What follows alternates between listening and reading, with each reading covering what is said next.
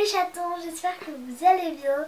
Aujourd'hui je vais vous faire une vidéo sur Cœur Paiement donc, euh, que j'ai eu aujourd'hui, livré par la FNAC. Donc j'étais super contente parce que j'étais allée à la FNAC et il n'y était pas. Donc comme vous le voyez, il est tout petit. C'est pour ça que je l'ai lu en 5 minutes. Mais c'est une jolie histoire et donc euh, je vais vous parler de tout ça. Donc, c'est l'histoire de H, 18 ans, qui est donc le petit ami de, de Onei, qui vous en rappelez pas. Et donc, euh, bon, il a toujours son sac à dos et son suite capuche parce qu'il voyage partout. Euh, donc là, il est Désolée. Il est euh, en année sabbatique avant sa, ses études et avant de rentrer en Australie à Sydney.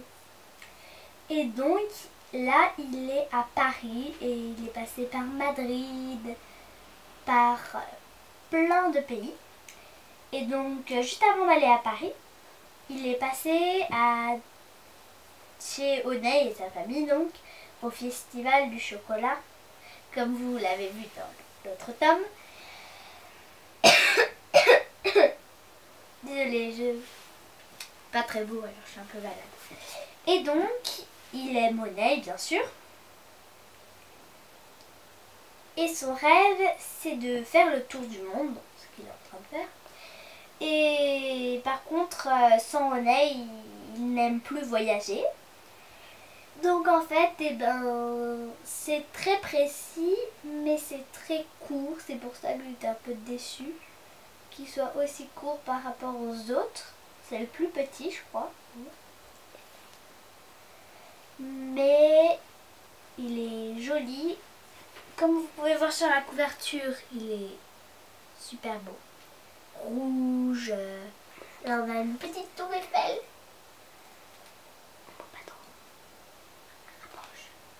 Et derrière, c'est comme ça. Voilà.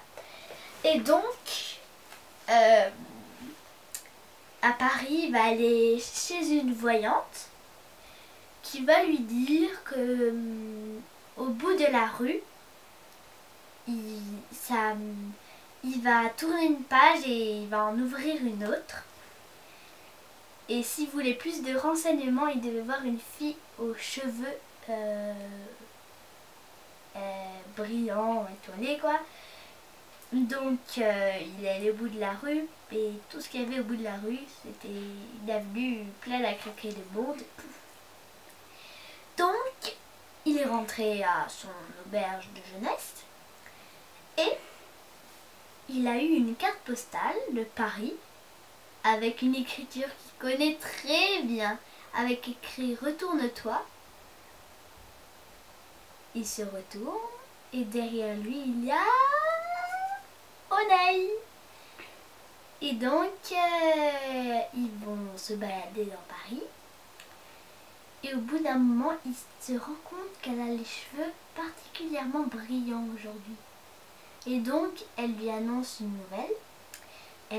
Parce qu'il adore écrire des petits messages où il décrit très bien là où il est, à Oneil.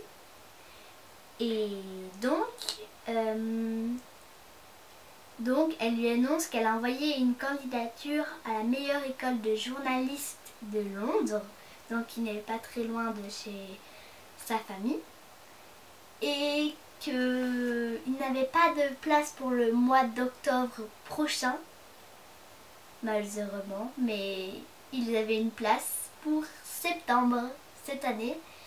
Et donc, bien sûr, il était fou de joie. Et donc très vite, trouva un petit boulot à temps partiel dans un café italien. Et du coup, bah voilà, il était très court, je sais.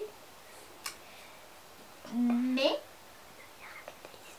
mais en fait, euh, c'est une très belle histoire. J'aime beaucoup la couverture. Et Cathy Cassidy a très bien écrit, même si je sais qu'elle aurait pu faire un petit effort et faire un peu plus long parce que je l'ai reçu, je l'ai déballé comme une folle. Et après je l'ai lu. Et... Il est fini.